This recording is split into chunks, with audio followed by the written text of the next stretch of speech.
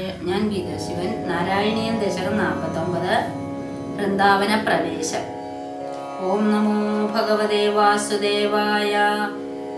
ഭവത്പ്രഭാവ വിദുരാഹി ഗോപ തരുപ്രപാദാധികമാത്ര ഗോഷ്ടേ അഹേതുമുൽപാദഗണം तत्रोपनन्दाविधवो भवर्या। जगौ भवत्प्रेरणैव नूनम् इति प्रदीज्यामिवनं मनोज्ञम्। वृन्दावनं नाम विराजदीति बृहद्वनं दद्गलु नन्दमुख्या। विधाय गोष्ठीक्षणेन तदन्य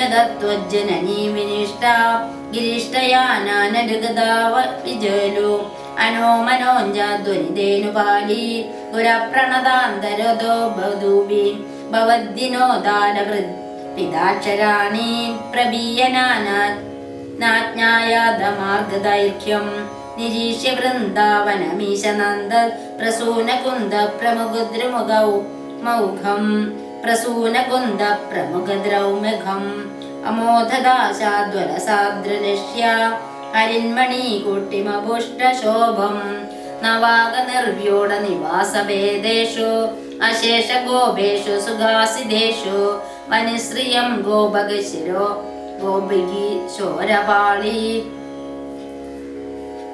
വിമസൃത പര്യഗലോകദാസ്ത്വം അരാലമാർഗാഗത നിർമ്മലാഭം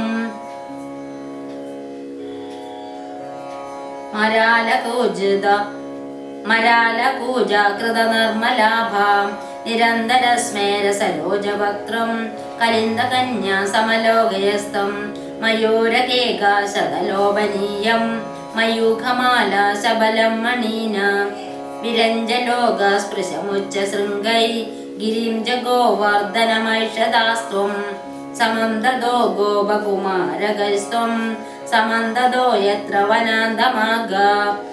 ततस्ततस्ताङ्कुडली कुडिलामपश्या कलिन्दजां रागविधीमि वैगाम् तदा विदोऽस्मिन् विभिने प्रवश्य समुत्सगो वत्सगणप्रचारे चरन् स रामोदकुमारकैस्त्वं समीरगेहादिभवाहि रोगाद् सर्वत्र गोविन्दनामसङ्कीर्तनं गोविन्द हरि गोविन्द।